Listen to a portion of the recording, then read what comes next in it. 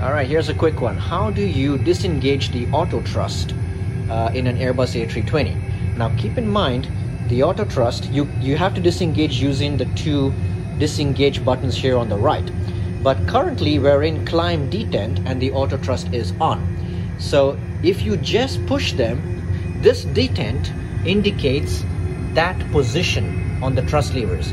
So the minute you disengage the thrust levers while they're in the detent, when you push the button, the engine's gonna shoot towards that position, which is almost 90%. So you don't want to do that. The correct way to disengage the auto thrust um, is for you to first bring it out of its detent and match the blue circles to the current thrust and then push the disengage button and now you have manual thrust on the 320